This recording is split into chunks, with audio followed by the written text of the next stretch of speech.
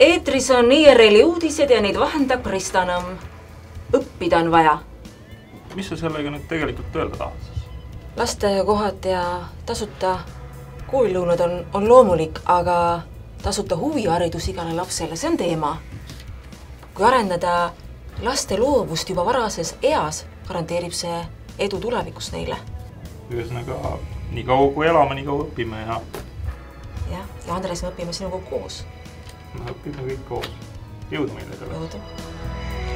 aeg on ajada Pärnus Eesti asja ja nii teemegi.